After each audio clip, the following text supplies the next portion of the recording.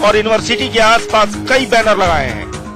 बजरंग दल ने दूसरे धर्म के लोगों को गरबा वाली जगह से दूर रहने को कहा है। बजरंग दल ने गरबा वाली जगहों पर लव जिहाद का खतरा जताया है।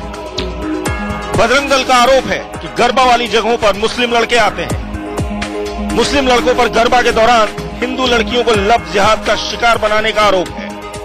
ब्रेक पर यहाँ रुक रहे हैं, लेकिन जाने से पहले आपको बता दें कि दस बजकर बावन मिनट